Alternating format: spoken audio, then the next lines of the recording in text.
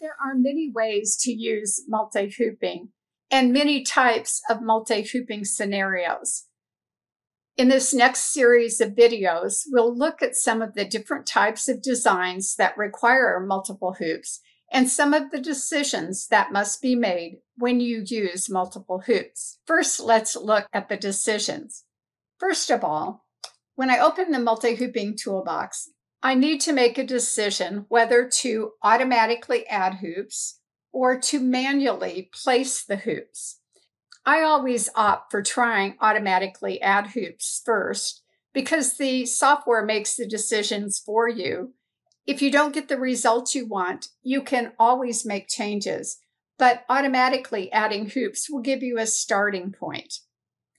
Then you need to choose if you want to add registration marks or not. You can add registration marks automatically with the software. You can create your own reference marks, or you can use no reference marks. Reference marks are used to help you align the split design. But with the newer machines, there are features that make it easy to align designs without reference marks or registration marks.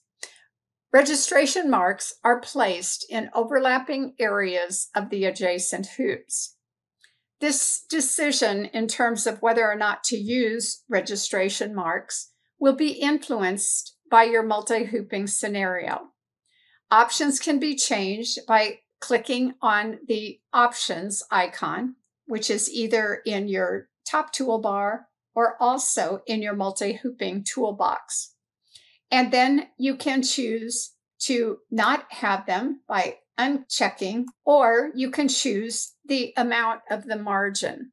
The larger the margin, the further the marks are away from the hoop edge. If you manually add hoops, you have lots of different options for adding the hoops in the multi-hooping toolbox. You can also decide to rotate hoops if it works better the way the design stitches. And you can do this by first selecting the hoop and then using the rotate icons. As far as scenarios of multi-hooping, there are different types of designs that require multiple hooping.